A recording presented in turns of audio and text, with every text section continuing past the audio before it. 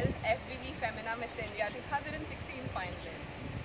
Hi, this is Vaishnavi, also FBB Femina Miss India, the top finalist.